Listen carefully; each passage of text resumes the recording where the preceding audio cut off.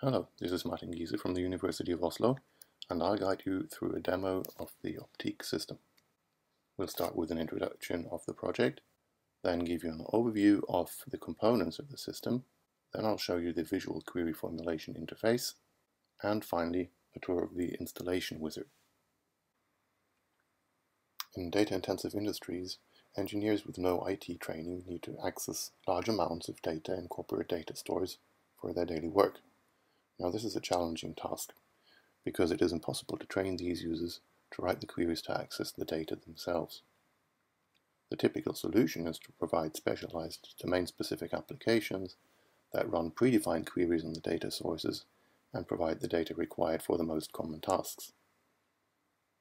But as soon as more advanced tasks are needed, the predefined sets of queries are not sufficient. In these cases, the engineers will go to their IT help desk and ask the database experts to help in translating their information needs into specialized queries over the data sources. In these industries, access to IT experts turns out to be a major bottleneck. Understanding both the domain and the data sufficiently to do these translations takes years of training. The IT department is typically overloaded, and engineers will have to wait days or even weeks to get the response and the data they need. In addition, misunderstandings between the engineers and IT experts can lead to the need for several iterations in the data access process. In oil industry, it turns out that engineers will spend up to 30 or 70% of their time on data access. What is needed is a way for end users to access the data themselves. One of the main theses of the Optique project is that ontology-based data access can be a way to give end users direct access to their data. The idea of OBDA is that users formulate queries according to a domain ontology that formalizes their own vocabulary. A set of mappings then connect the terms in the ontology to what is found in the databases. Technically, this is solved by a query processing component that takes the query, as well as the ontology and mappings, and rewrites queries into a sequence of queries that are sent to the databases. The results are then sent back typically to existing visualization or analytics applications that the end users are used to. This has several advantages. One is that the ontology formalizes the language of the user. The user no longer needs to know about how or where the data is stored exactly. The knowledge of the IT expert about how the domain vocabulary relates to the data storage is recorded in the mappings. Existing OBDA systems have a number of severe limitations that we will address in the Optique project. This demo will concentrate on two of them. One is the question where queries come from. End users can't be expected to author SPARQL queries even if the RDF vocabulary is similar to their domain language.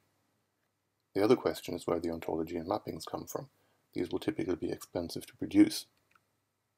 The Optique platform addresses these issues by providing both an end-user-oriented query formulation component and an ontology and mapping management component. Let me give you some information about the Optique project. It is an FP7 EU project running for four years from November 2012. Its aims are to address the issues of today's OBDA systems and to develop the next generation OBDA system. The development is driven by two large industrial use cases, one from Statoil and one from Siemens. Version 1.0 of the Optique platform consists of a number of components. The underlying platform is based on Fluid Operations Information Workbench that we have extended for our purposes. For query formulation, we have constructed a visual query formulation tool in SPARQL Editor. For answer visualization in this demo, we have been using the uh, table widgets in the Information Workbench, as well as the Open Layers map widget and maps from OpenStreetMaps. For query processing, we have integrated the ONTOP framework for ontology-based data access. The reasoner used is HermiT, and for ontology and mapping bootstrapping, we have developed our own components based on new techniques. For ontology bootstrapping, exploiting direct R2RML mappings. For ontology alignment, the LogMap tool. And for ontology approximation, novel approximation techniques. For this demo, we wanted to show you an example from the petroleum domain. Now, of course, that all internal data is confidential, so we could not use that. We decided instead to use the NPD fact pages. This is public data curated by the Norwegian Petroleum Directorate. It contains information about oil fields, companies, wells, etc.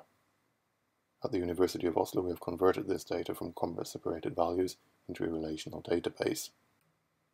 The NPD fact pages are not a toy example. They are actually an important source of information for Statoil engineers and will be integrated with Statoil internal data in the course of the project.